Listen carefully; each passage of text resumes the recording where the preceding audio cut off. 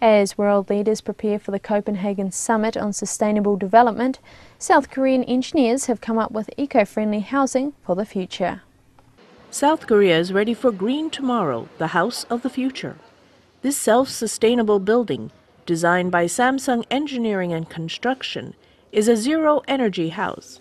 It does not use fossil fuel energy, nor does it produce carbon dioxide emissions. According to Samsung Engineering, 68 eco friendly technologies are applied to the house, such as insulated walls and floor heating. The photovoltaic system is very innovative.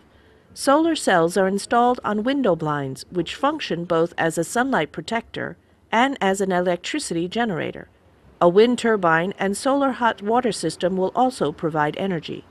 The house can reduce energy consumption up to 56% through a passive design which makes the house use less energy. The rest of the required energy will be provided by a photovoltaic system, geothermal and wind power generation, producing 44% of the energy needed.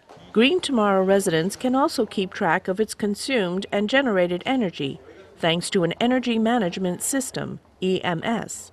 This computerized system identifies home appliances and can turn them off automatically when not in use.